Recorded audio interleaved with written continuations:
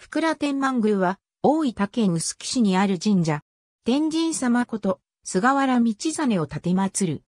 太宰府に左遷された、菅原道真が、延義3年に亡くなった後、菅原氏の一族は、周王国大畑を支配して、西を大畑に改め、大々天神像を守護していたが、天正年間の豊臣氏による全国征伐の難を逃れ、文後国海府軍福良荘へ勘定されたと伝える。慶長初期に、窓か誉れ商人が、平清水に立つ春寺を、また、福良村、小野に、正明寺を解散。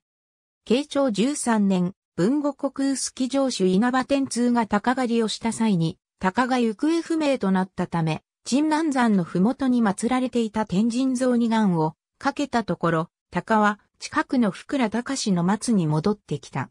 そこで、天通りは宮所のをまず、宮畑に移し、ついで正明寺内の現在地に神殿を営んで、小高殿と名付けた。後に、正明寺は、新言宗に改宗し仁那寺より印号を受けて、菅尾院と合し、さらに、関勝院天満寺、梅林山天満寺と名を改めた後、天台宗に改宗して、随行院天満寺となった。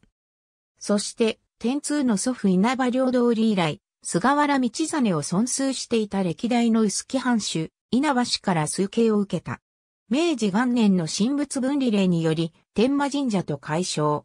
明治28年に現存する本殿に改築した。昭和に入って、福良天満宮と解消。昭和57年公開の男は辛いお花も嵐も、虎次郎では、本神社の境内で、ロッケが行われた。平成14年には、菅原道真公1100年大祭が行われた。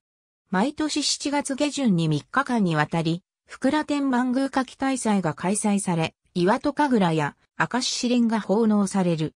正確には、初日は、境内の湯賀神社の霊祭日、2日目は、愛宕神社の霊祭日、3日目の最終日が、福良天満宮の霊祭日で、みこし行列の進行祭が行われる。最終日の夜に行われる八雲払いは人気が高い。薄木三大夏祭りに数えられる。ありがとうございます。